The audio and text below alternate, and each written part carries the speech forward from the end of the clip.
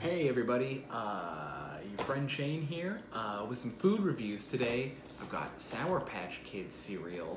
Uh, I like Sour Patch Kids, they're my favorite candy, and cereal is my favorite food, so this is gonna be a home run, no problem.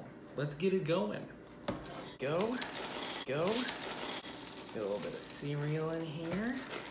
Ooh, smells kind of like Sour Patch. Gonna get some milk in here. All right, a little bit of that. Bop. All right, so excited. Here we go.